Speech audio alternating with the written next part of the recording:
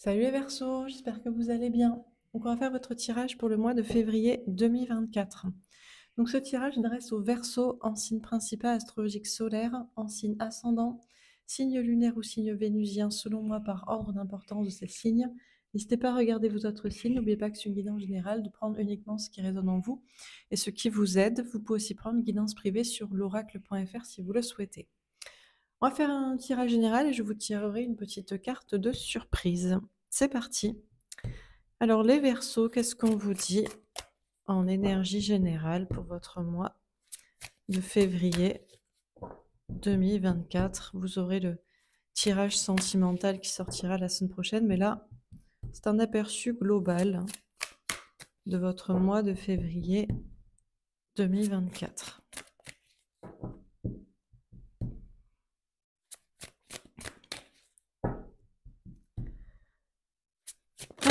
Alors, l'appel divin, c'est tourner et retourner, mais finalement rester droite.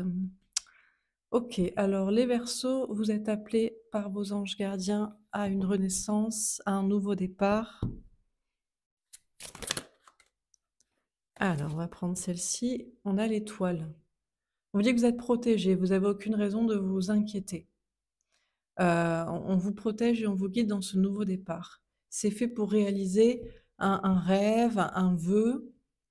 Peut-être on vous parle aussi de rayonnement personnel, euh, d'être vu, d'être reconnu. On peut vous parler aussi de, de travail dans le domaine de, l'image, du spectacle, euh, de la beauté, la créativité. On a le 10 de feu. On vous dit que vous allez avoir beaucoup de travail. Beaucoup de travail, beaucoup de choses à faire. Euh, beaucoup de choses à exprimer, peut-être beaucoup de choses à, écrire, à, créer, euh, beaucoup de responsabilités. Il peut y avoir un fardeau quand même, il y a une notion peut-être de, de lourdeur et on a l'hierophante. Mais on vous dit que vous êtes dans le bon chemin. On vous guide dans le bon chemin, dans le, chemin aussi d'une d'une mission de vie. Ça semble important quand même le, le travail, le professionnel pour vous durant ce mois de février 2024. Euh, On peut vous parler aussi de contrat d'âme avec une personne, de mariage, d'engagement. Alors, on va préciser les cartes. Donc, sur l'appel, qu'est-ce qu'on vous dit?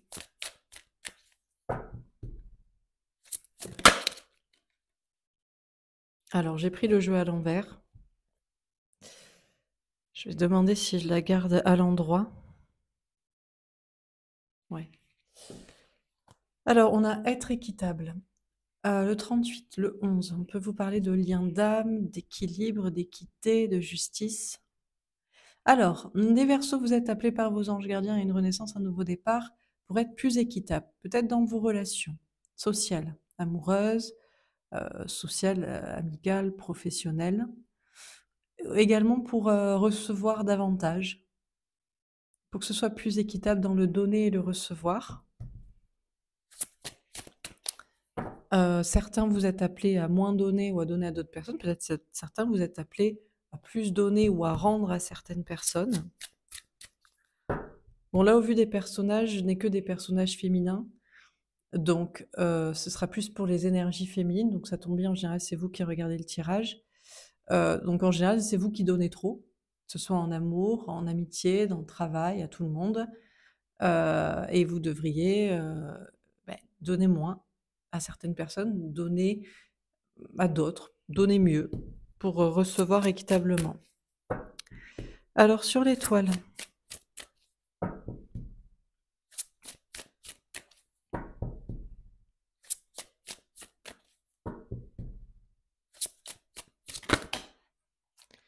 On a l'observateur et la régénération. On a une énergie masculine qui, vous regarde ou qui va vous observer. Sachez que vous êtes euh, très belle, très beau aux yeux de quelqu'un, féminin, féminine. Euh, quelqu'un vous observe, que ce soit en amour, une énergie masculine en face de vous ou, un autre, en tout cas en face de vous. Euh, et cette personne d'ailleurs est peut-être en, en, pleine régénération. On a le 49, le 46, 13, la mort, 10, la route fortune, le changement.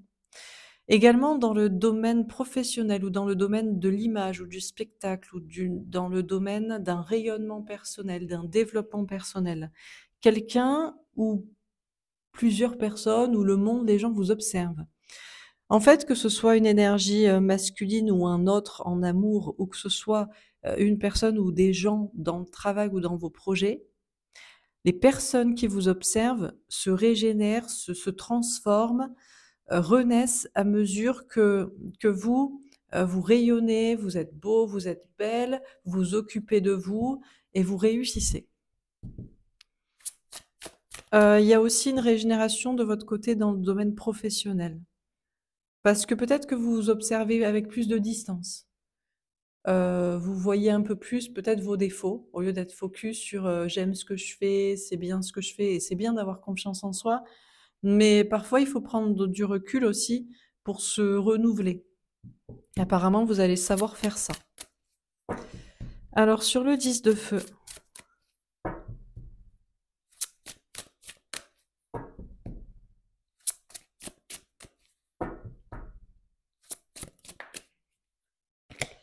La réparation.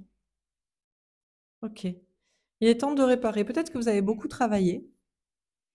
Que ce soit dans le travail ou que ce soit sur une relation, heu, sentimentale ou peut-être une amitié ou une relation très forte ou peut-être familiale. On a le 52, le 7, le chariot, la victoire. Maintenant, il est temps de de réparer. Il y aura beaucoup plus de douceur. Là où il y avait beaucoup de fardeaux, beaucoup de choses à faire, beaucoup de responsabilités, beaucoup de choses à dire, beaucoup de choses à écrire, une certaine lourdeur dans les responsabilités ou dans le travail ou sur une relation, ça va être beaucoup plus doux. Heu, que ce soit en amour, amitié ou dans le travail ou en famille, je ne sais pas. Dans un relationnel, vous allez pouvoir réparer, mais les 2 personnes ensemble, travailler en équipe et ça va avancer. Ça va vous permettre aussi peut-être de vous déplacer, de déménager ou de faire un voyage important. Mais il y a plus il y a une réparation, il y a plus de douceur dans un relationnel ou dans le travail. Après avoir beaucoup travaillé, investi, heu, expliqué. Et sur l'hiérophante?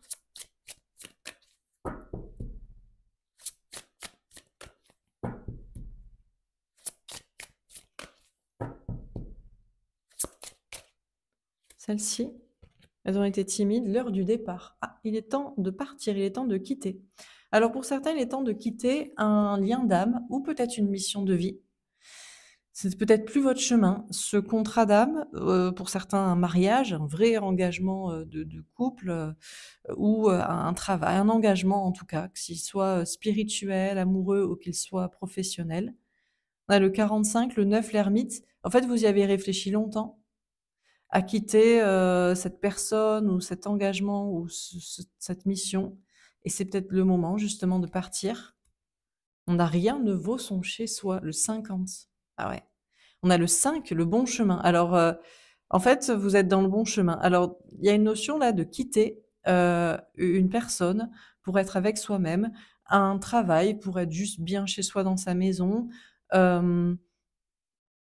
Ouais, il y a une notion aussi, heu, peut-être pour certains de quitter une maison aussi. Alors est-ce que vous quittez quelqu'un, un travail, un engagement, un endroit, pour être bien chez vous, tranquille, à la maison, peut-être avec quelqu'un, en mode huis clos, peut-être plus renfermé sur vous, plus en solitude, plus en réflexion, heu, moins, heu, sur le devant de la scène? Est-ce que c'est ça? Hem, ou est-ce que, vous partez aussi pour aller à un endroit en particulier? Maison, famille, lieu de travail? Alors on continue. Sur l'appel et être équitable. Qu'est-ce qu'on vous dit?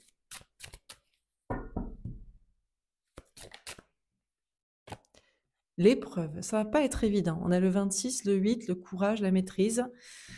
Heu, ce qu'il va falloir que vous maîtrisiez les énergies féminines, c'est le fait de vous de vous forcer à vous maîtriser pour moins donner.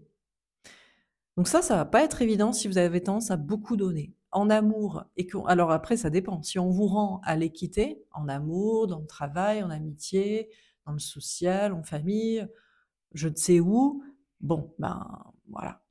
D'ailleurs, ça peut être équitable, mais il peut y avoir quand même des épreuves à surmonter ensemble.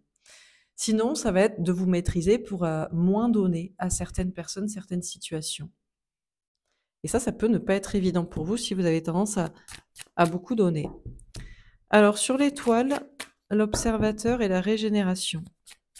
Donc, il va, y avoir des épreuves à surmonter, que ce soit dans des relations équilibrées ou que ce soit pour rééquilibrer des relations et peut-être en les quittant, en ne leur donnant plus. Alors, sur l'étoile, l'observateur et la régénération, sachez qu'on vous observe longuement, que ce soit dans le travail ou que ce soit en amour. Quelqu'un vous admire, quelqu'un vous trouve beau, quelqu'un vous trouve belle. On a la naissance et il y a un nouveau départ pour vous. Ça, ressort beaucoup. Hein. Appel, régénération, naissance, l'heure du départ. Il y a un grand changement. Euh, il y a un nouveau départ ici. Alors, est-ce que c'est pour vous ou est-ce que c'est pour cette personne ou ces personnes qui vous observent et qui se régénèrent ici? Je ne sais pas, mais il y a vraiment mmh, quelque chose qui sort de l'œuf, une, renaissance. Peut-être c'est vous qui allez éclore d'une manière différente qu'on ne vous, avait jamais vu, ou peut-être que c'est la personne qui vous observe ici, ou les personnes. Alors, sur le 10 de feu et la réparation.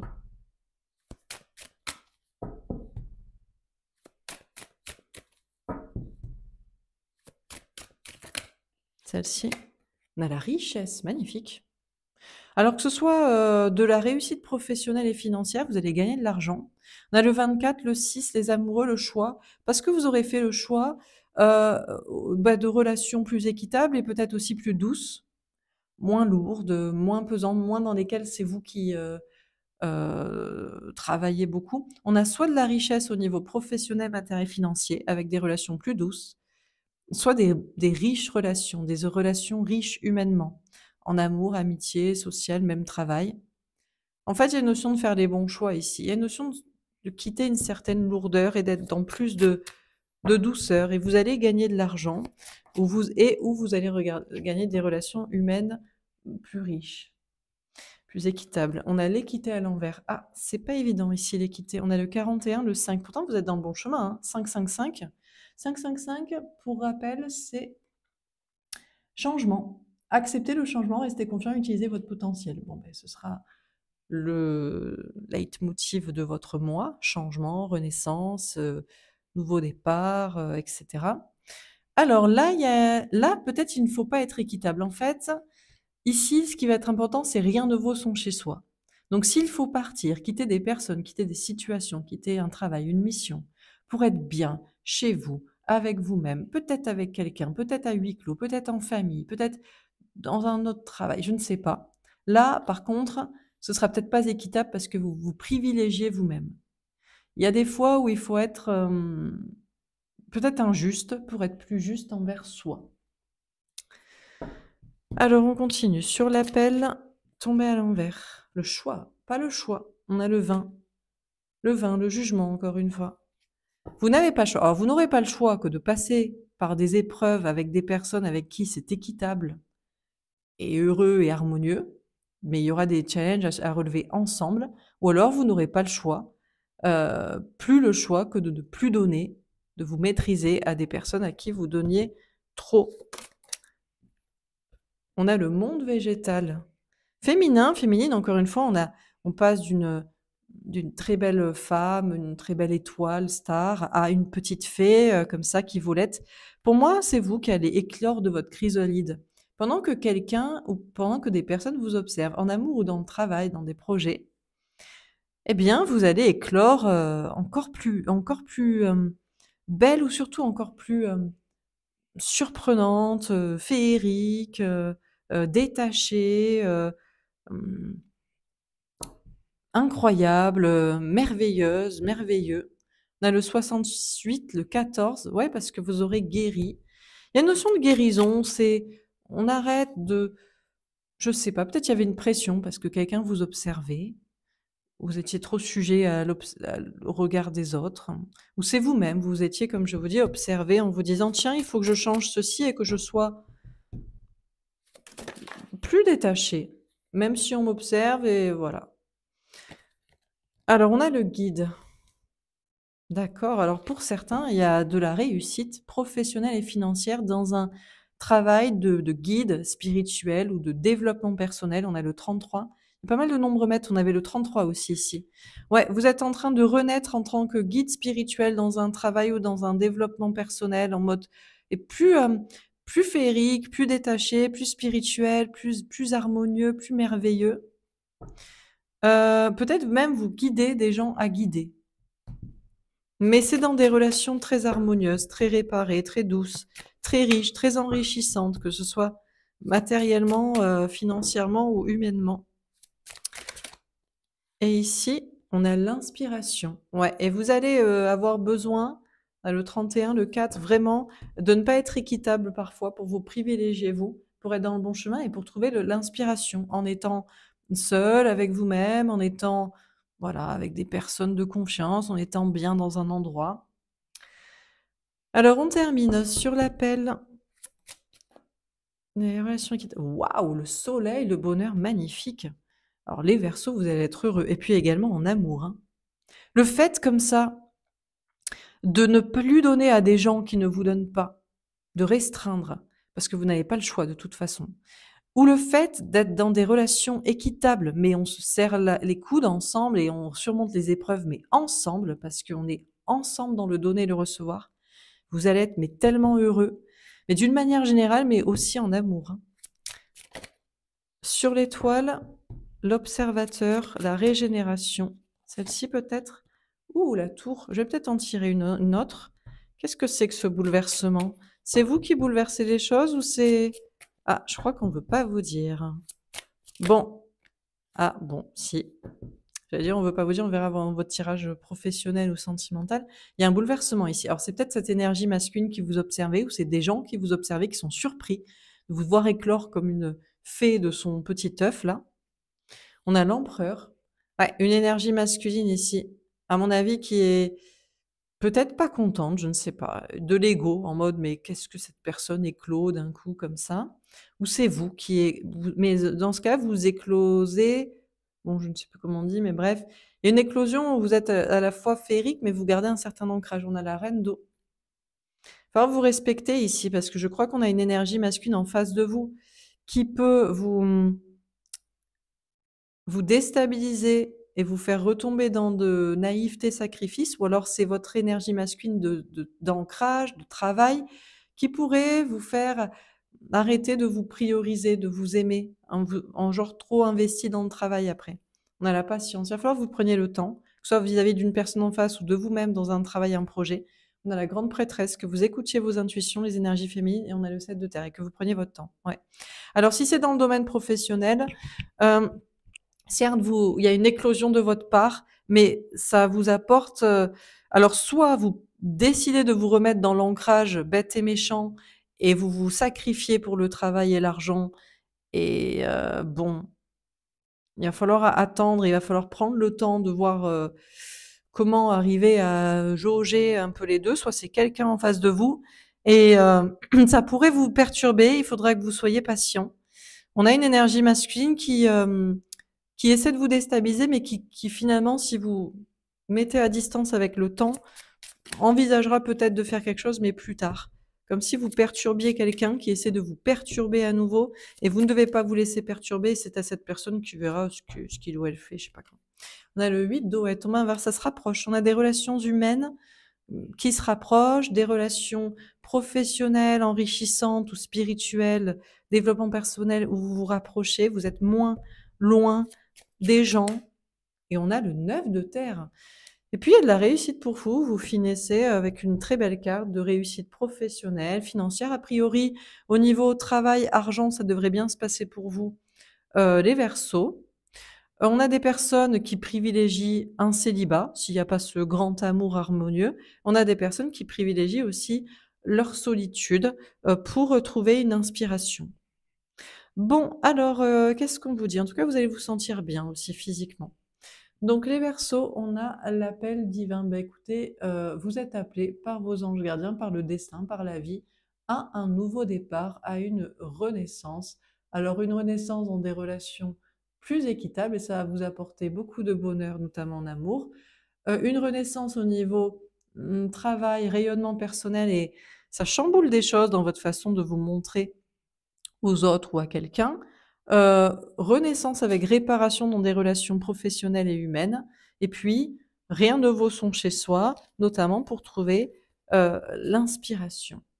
Voilà pour ce tirage, les Verseaux. J'espère que ça vous aura parlé, que ça vous aura aidé. Je vais vous tirer, heu, une petite carte de surprise. Est-ce qu'on a une surprise? Pour vous?